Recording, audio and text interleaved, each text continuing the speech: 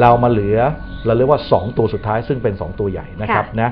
ตัวแรกนะครับในตัวนี้เราเรียกว่าอัตราการหมุนของสินทรัพย์ไม่หมุนเวียนคืออะไรคะอาจารย์นะ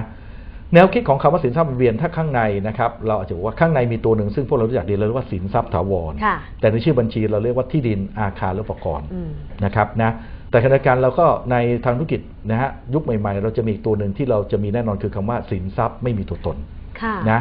ข้างในก็คือรายการที่เราเรียกว่ามีแน่ๆคือซอฟต์แวร์คอมพิวเตอร์อืมจะเป็นการจะมีเรื่องสิทธิทางกฎหมายต่างๆ ที่ใช้ประโยชน์ธุรกิจลิขสิทธิ์สิทธิบัตรนะต่างๆผลพวกนี้คือสินทรัพย์ที่ธุรกิจจะต้องมีเอาไว้ใช้ในการทำงานค่ะนะผลเช่นกันเอาไปสร้างรายได้ยอดขายเท่าไหร่ครับผลสูตรการคำนวณคล้ายๆกันเอายอดขายรายได้ตั้งหารด้วย สิสินนททรัรัพพย์ย์ไม่ไม่หหมุมุนนเวีเวียยนน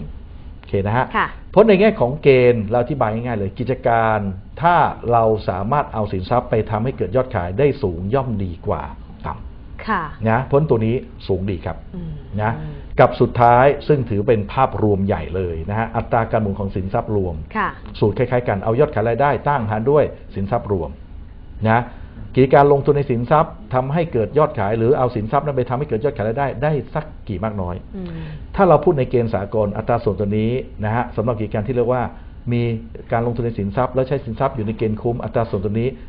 ต้องสูงกว่าหนึ่งหรืออย่างน้อยกว่าหนึ่งค่ะ แต่ถ้าสูงกว่าหนึ่งยิ่งมากยิ่งดีอืมเพราะเราจะเห็นนะชุดนี้เกณฑ์จะคล้าย ๆ กันคือสูงไว้ก่อน